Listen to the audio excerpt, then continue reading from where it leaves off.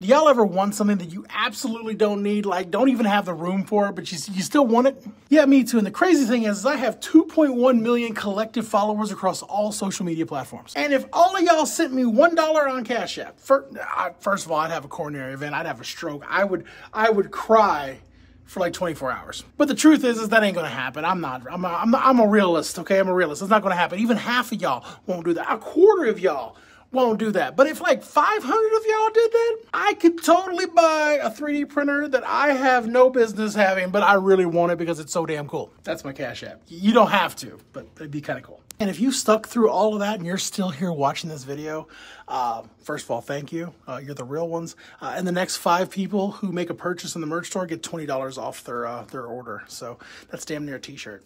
I love y'all. Stay petty.